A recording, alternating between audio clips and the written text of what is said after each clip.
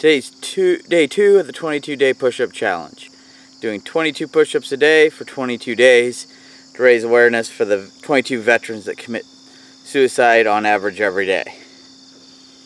Today I'm nominating Ethan and I've had some discussion with some people. Yes, I know doing push-ups doesn't do anything to help veterans, but hopefully it gets some people talking and ideally more than just talking, gets people actually doing stuff.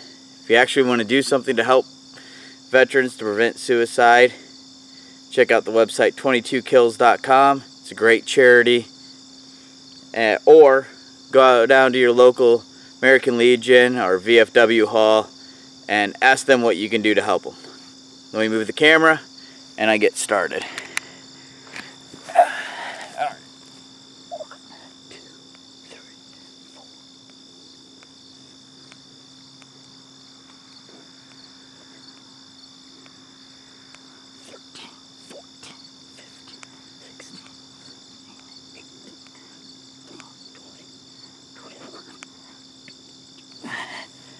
That's 22.